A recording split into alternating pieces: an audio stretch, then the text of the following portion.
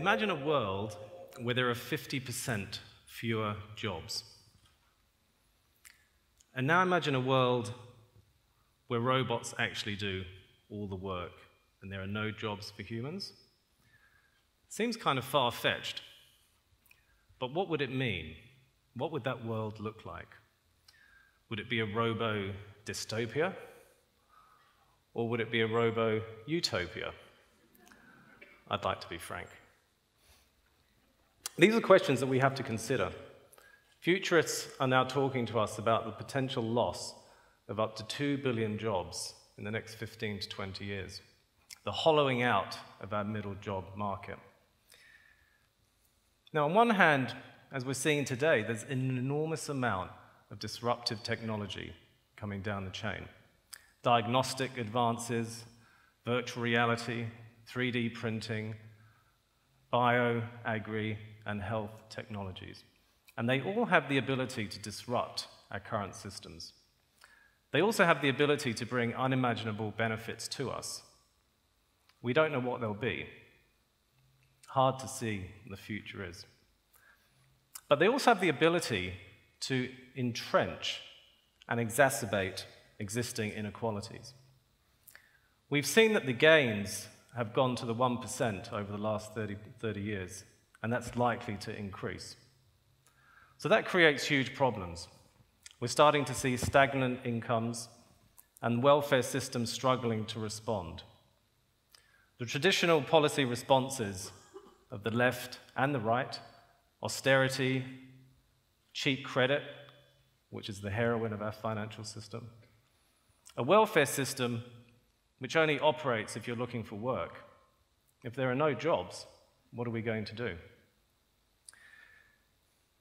We need to start thinking about separating income from work.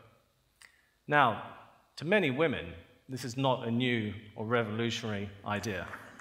Yeah. yeah. I hear you. Parenting, looking after the sick and elderly, of whom there will be a lot more, volunteering in the community. A huge amount of unpaid work goes on in our society but also other things like arts, culture, research, innovation. They all have a huge impact and contribution to our society, but typically do not attract an income. So, one possible solution is to think about a universal basic income. This would be a regular monthly or annual payment to all citizens as of right.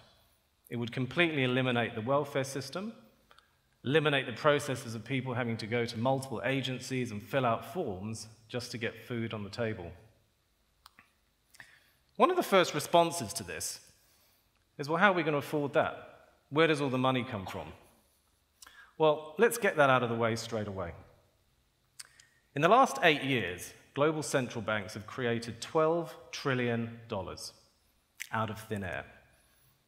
This is the balance sheet of all the Federal Reserve banks in the US. The balance sheet expanded by $4 trillion in six years so that they could buy bank assets and improve the balance sheets of the banks. Now, where did that money come from? Well, I'll tell you literally, an Excel spreadsheet. Now, if they can create that much money to bail out the banks, I think we can find the money to sort out a basic income. And there are.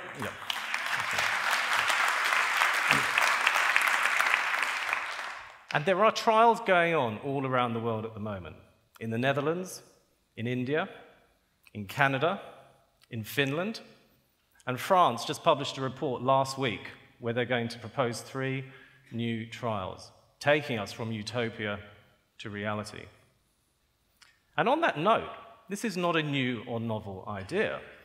Talking of utopia, 500 years ago, in 1516, Thomas More laid out his vision of utopia. And in his book, he had the first reference to a basic income. Fellow humanist Jean Louis Vives in 1526 did some research in the city of Bruges on why poverty was such a huge problem to eliminate. His conclusion in his book on assistance to the poor was the only way to eliminate poverty and crime and poor health was to make sure everybody had a basic standard of living. It seems pretty sensible. And a lot of other people thought it was pretty sensible too. The third president of the United States, Thomas Jefferson, Thomas Paine, who wrote the 1791 book, The Rights of Man, and the 16th US president, Abraham Lincoln, were all in favor of a basic income, whether it was in cash or whether it was in land, to support a basic standard of living.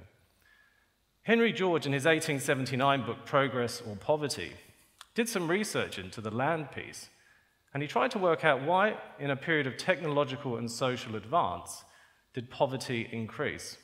He came to the conclusion that a lot of gains went to landowners and land prices. And he suggested a single tax on land, known as the land value tax, which would support the ability to invest in public infrastructure and pay everybody a basic income. Martin Luther King spent a lot of time looking at George's works as he researched how he could solve poverty and exclusion in the neighborhoods that he worked in.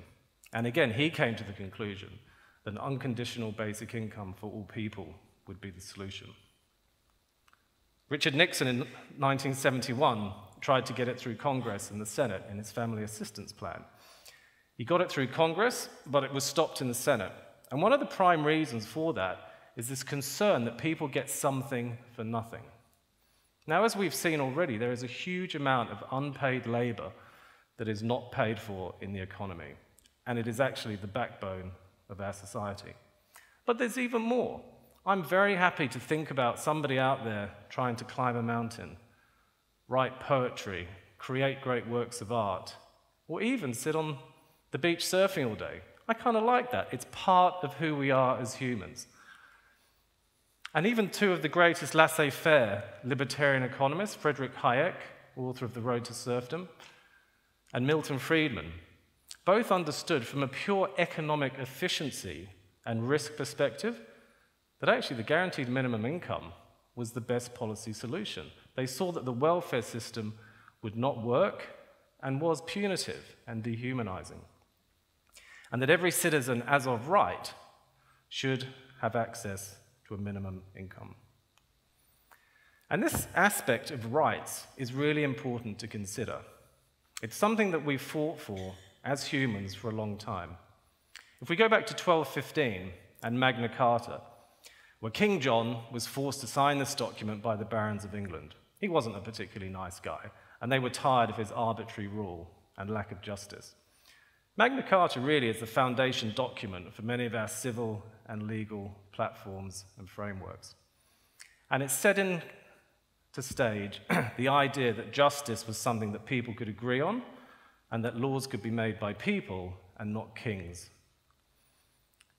In the English Civil War in the 1650s, we saw further demands for the people to be represented in a different way, to be represented at Parliament and to remove this divine right of kings and monarchs to decide and dispense justice on their whims. And we saw this again in the colonies in the US when they declared independence. The French, when they published The Rights of Man and the Citizen. And this citizen piece was important.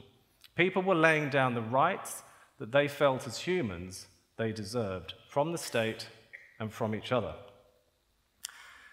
But it wasn't until 1919, after the First World War, that we started to see social justice appear on the horizon, with the formation of the International Labour Organization in the Treaty of Versailles.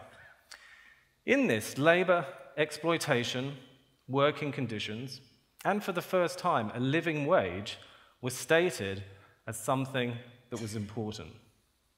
This was further reinforced in the Universal Declaration of Human Rights in 1948, the Global Human Rights Charter. In it, it was made very clear that all people, as of right, were entitled to a basic standard of living. And this was something that all nations signed up to. This was further reinforced in the 1966 International Covenant on Economic and Social Rights. But one thing was missing from this conversation. The idea that all people should have a basic standard of living, as of right, was agreed on from a rights perspective from an economic efficiency perspective, from a risk perspective. But there's one person missing from this conversation, and that is the citizen. Civis Romanus sum, I am a Roman citizen, made famous by J.F. Kennedy in his Ich bin ein Berliner speech. That's good. When we talk about rights, we forget something. It's a contract, it's a two way bargain. And the concept of duties is something that has dropped out of our narrative. We never mention it. Yet it's in there in the Universal Declaration. The problem is, when they started drafting this document, which took a long time to put together, duties was up there right at the beginning along with rights. But through all the arguments around religion, culture, gender, as we've seen earlier today, the issue of duties dropped down. And it was only in the last few months that they suddenly realized they needed to put something in, and it came in in Article 29. But it's not something that we think of when we think of the Universal Declaration of Human Rights. And this is important. We need to balance our rights with duties, because that's what being a citizen is about. That's what the Greeks and the Romans understood citizenship to mean. The right to be a citizen came with obligations and duties back to the community, back to each other. In 1762, before the French Revolution and the rights of man, Jean Jacques Rousseau published The Social Contract, and he grappled with this issue. He could see the argument for rights, he could see how important they were, but he was concerned there wasn't a proper bargain. What did you give up? What was your relationship with the state? What was your relationship with other citizens? What duties were you willing to give up and provide? And I think the problem we have at the moment is that instead of being citizens, we've gone back to those days of Magna Carta where we've actually become subjects. In the economic state that we have, there is no room for the citizen. We have somehow contracted out our rights and our duties and have become subjects. The subject's an interesting person. The subject is passive is a victim, is represented, is served, is a beneficiary. I don't like that word. And is ultimately a consumer. It's easy. Sit back. You'll be served, you'll be given stuff, buy stuff on credit, and you'll be fine. Even the government in its communications talks about us as consumers. That's all we hear. The concept of the citizen has really disappeared out of our lexicon.